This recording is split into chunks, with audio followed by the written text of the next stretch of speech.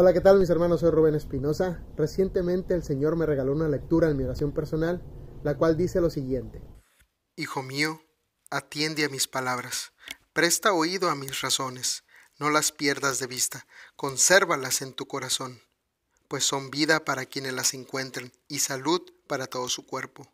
Por encima de todo, vigila tu corazón, porque de él brota la vida. La palabra particularmente que más me llamó la atención está en el versículo 23, la palabra corazón. ¿Por qué? Porque quería entender bien a qué se refería ese versículo cuando utilizaba la palabra corazón.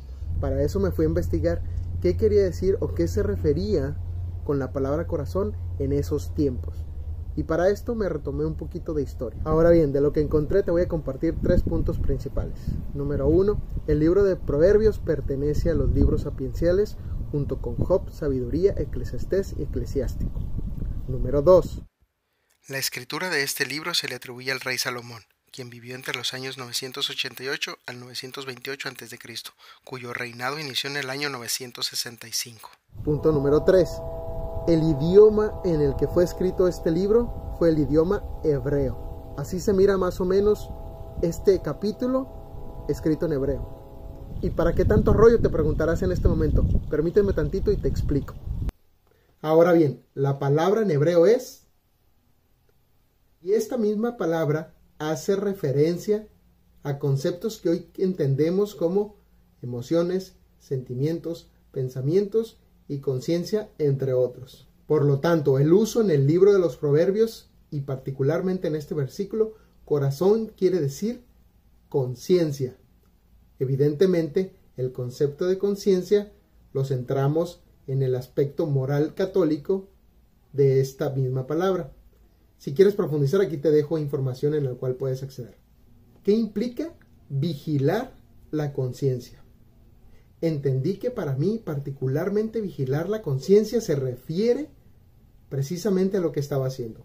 Orar, formarme, informarme para aprender más y de tal manera todas estas actividades me ayuden a discernir mejor las decisiones que día con día tengo que tomar. De tal manera que mis decisiones día con día sean las mejores posibles en el contexto en el cual estoy viviendo, particularmente cuando estas decisiones incluyen a mi familia y a mi prójimo, de tal manera que todo esto debe reflejar tanto el amor de Dios como el conocimiento, como la espiritualidad que estamos intentando vivir o que yo estoy intentando vivir para con Cristo. Y particularmente el discernimiento me ayuda a mejorar en esas decisiones ya que no todo en mi vida particularmente es blanco o negro. Por otra parte, la conciencia, al ser parte de la inteligencia, evidentemente eso está afectada o está influida, o está influenciada por los cinco sentidos, la vista, el olfato, el gusto, el tacto, etc. Dicho esto, entendí que vigilar mi conciencia incluye vigilar lo que veo, lo que escucho, lo que como, etc.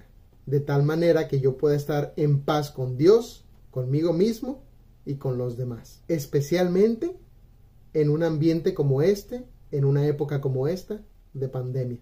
Es decir, en la medida en la que aprendo y percibo y reflexiono sobre eso, en la medida en la que voy vigilando mejor mi corazón, en este sentido, mi conciencia, para actuar de la mejor manera posible.